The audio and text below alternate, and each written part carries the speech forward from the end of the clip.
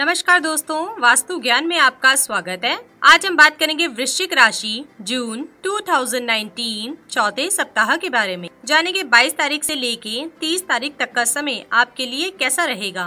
तो आइए शुरुआत करते हैं 22, 23 और 24 तारीख से।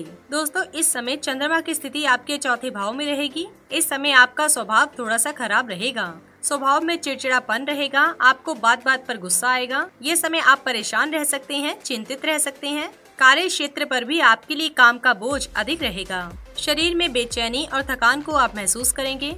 आपका आलस्य बढ़ेगा। किसी भी काम को करने का आपका मन नहीं होगा और अपने माता पिता के साथ भी आपकी अनबन हो सकती है या फिर लड़ाई झगड़े की स्थिति दिखाई दे रही। किसी बात पर मन मुटाव आपके माता पिता के साथ हो सकता है। तो इस समय में आप ध्यान रखें, अपने गुस्से पर कंट्रोल रखें। यदि आप कहीं पर धन का निवेश करना चाहते हैं तो बेहद ही सोच समझ कर। करें किसी भी प्रकार की लापरवाही से आपको बचना है। कोई बड़ा फैसला आप इस समय में ना लें, और यदि आप कोई फैसला लेते हैं तो बेहद सोच समझ कर लें। और दोस्तों, अपने बड़े बुज़ुर्गों की सलाह ज़रूर लें। इस समय में आपको बहुत ही संयम और धैर्य से काम लेना है। दोस्तों, अब बात करते हैं 25 और 26 तारीख की। दोस्तों, ये समय आपके लिए बेहद ही अच्छा रहने वाला है।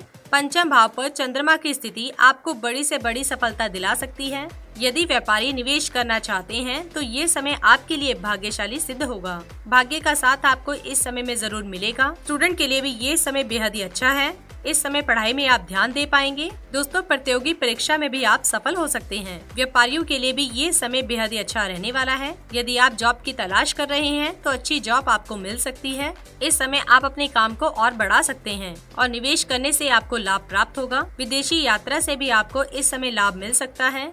विदेशी कार्यों से भी आपको मुनाफा मिलेगा। घर परिवार में किसी प्रकार के धार्मिक कार्यों का आयोजन हो सकता है। धर्म कर्म के कामों में आपकी रुचि बढ़ेगी। इस समय बहन भाइयों के साथ भी आपके संबंध अच्छे रहेंगे। जीवन साथी के साथ थोड़ी वाद विवाद की स्थिति दिखाई दे रही है। लड़ाई झगड़ा हो सकता है तो थोड़ा सा सावधानी बरतें। तो दोस्तों अब बात करते हैं 27, 28, 29 जून शाम चार बजे तक के समय की। दोस्तों, इस समय चंद्रमा की स्थिति आपके छठे भाव में रहेगी। छठे भाव में चंद्रमा की स्थिति होने से आपकी चिंताएँ बढ़ सकती हैं। शारीरिक ऊर्जा में आप कमी को महसूस करेंगे। कोई शारीरिक समस्या भी आपको हो सकती है। यात्राएँ यदि आप करते हैं तो यात्राएँ संभल कर करें। कोई भी कागज़ी कार्रवाई में आप सावधानी बरतें।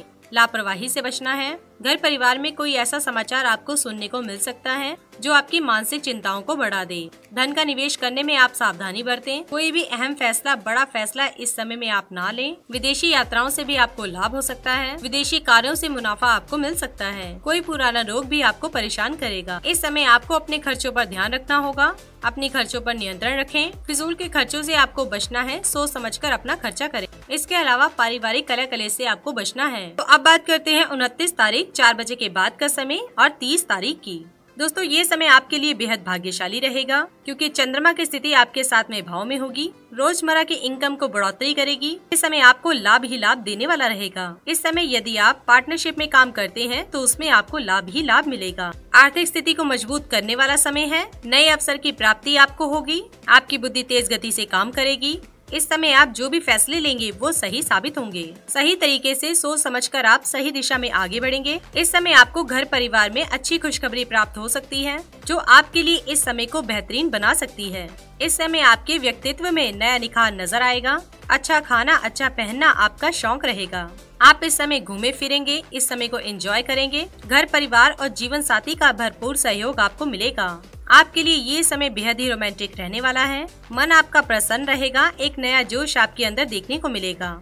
हर तरीके से ये समय आपके लिए बेहद भाग्यशाली है। तो दोस्तों, अब बात करते हैं उपाय की। आपको अपने घर के ईशान कोने में घी का दीपक प्रतिदिन जलाना है। इसके अलावा आप पक्षियों को दाना पानी डालें और गाय को रोटी खिलाएँ। तो ये था वृश्चिक राशि वालों के लिए जून 2019 चौथे सप्ताह के बारे में। इसी के साथ ही दोस्तों, अगर आपको ये वीडियो पसंद आया हो तो इसे आप लाइक कीजिए, अपने दोस्तों रिश्तेदारों के साथ शेयर कीजिए और सब्सक्राइब कीजिए। साथ ही साथ बेल आइकन को प्रेस करें ताकि नया नोटिफिकेशन आप तक सबसे पहले पहुँच सके। धन्यवाद दोस्तों।